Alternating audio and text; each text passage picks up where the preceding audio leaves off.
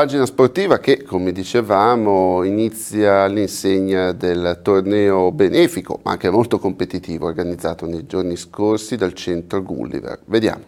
Amici di Rete 55, buongiorno e buonasera a voi. Bar Eccellenza estate. Eh, Ambrogio, l'estate qui però non l'abbiamo portata. Ci abbiamo Eh, preparato tutto. Dovete andare in fiducia, è proprio estate, per Ok, cui eh. siamo quasi... Guardate la data, guardate la data sul- sul calendario. Guardate l'abbigliamento, perché evidentemente la potrebbe ingannare. Ma, ma con che ospitone Ma con che ospitone, esatto, il sindaco Sindaco di Varese, Varese, Davide Davide Galimberti, Galimberti. in coro.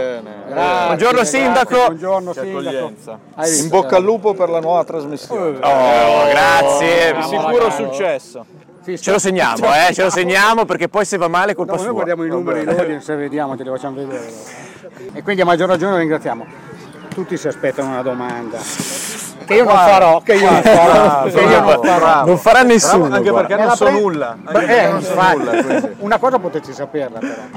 E lo stadio è francosso? Ma stiamo ultimando il bando per eh, appunto la- l'assegnazione del- dello stadio e del Varesello, quindi sarà una cosa sicuramente di grande interesse e speriamo che partecipi. Allora tu stai preparando, stai preparando l'appartamento, poi ci vorrà anche, come si dice, L'inquili- l'inqui- l'arredo, l'inquilino.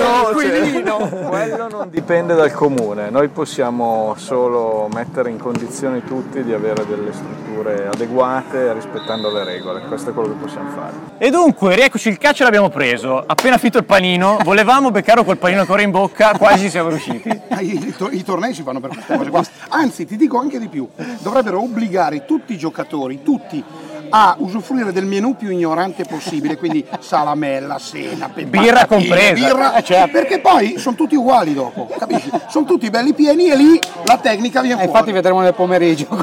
Ah, mamma mia. Ah, un bellissimo suggerimento anche per le categorie superiori. Per quei due o tre che non lo sapessero, Marco Cacciani era uno stopper, non un difensore centrale, uno stopper e ci sono in giro disseminati per la provincia tibie, perni, Pere. in giro perché tutto quello che girava attorno a lui, a parte le battute, è stato un, un giocatore non indifferente. Di una st- no, vabbè, possiamo dire, ma Beh, stamattina per le nostre categorie. Ancora in forma l'abbiamo visto. Assolutamente eh. sì.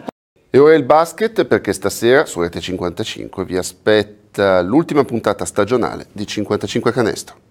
Canestro, ultimo appuntamento stagionale con il nostro approfondimento sul basket lombardo perché? Perché ce l'abbiamo fatta, il campionato di Serie C Gold è finito, il campione di Serie B quasi, manca pochissimo, la 2 anche pochissimo, va bene, in Serie A giusto alle finali, ma noi sai, facciamo la Serie C Gold, dico sai al nostro ospite di questa sera, il coach Bruno Bianchi, coach, te hai finito da un po', però le hai seguite tutte. Sì, sì, sì, le ho seguite tutte, un po' eh, chiacchierando, un po' andandole a vedere, un po' seguendo il sito della federazione. Ho seguito fino in fondo le due promozioni in C-Gold. Allora, le promozioni dalla C-Gold alla Serie B.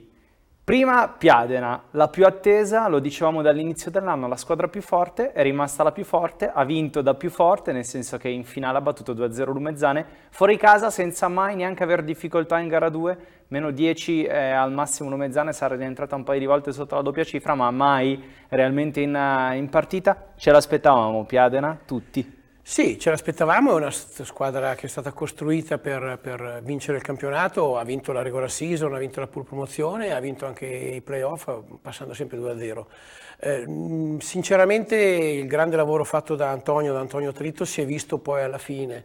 Non pensavo eh, arrivassero al 2-0, io al 2-1 sì, cioè pensavo che Lumezzane una partita la portava a casa, invece sono stati proprio bravi a vincere in casa loro e, e a portarla a casa una promozione già scritta, ma vincere non è mai facile, sono stati bravi. Come sempre le cose scritte sono quelle più difficili da fare, no? certo, assolutamente. assolutamente. Anche Piadena partiva con i favori del pronostico, a fine partita, nelle interviste di fine partita, coach Antonio Tritto ha detto noi non siamo Vigevano, siamo Piadena, perché per tutto l'anno si è detto Piadena potrebbe essere come Vigevano, si è fatto parallelismo, l'anno scorso Vigevano ha fatto 38 vittorie su 38 partite per vincere la Serie C Gold, quest'anno Piadena a dire il vero 4-5 le ha lasciate per È strada. un po' più umana Un Piadena. po' più umana, ma eh, ti devo dire la verità, ci sono stati anche problemi di infortuni. Io Sì, credo che senza sì. problemi di infortuni forse non lasciavano neanche quelle 4-5. È tutto anche per lo sport, grazie, arrivederci.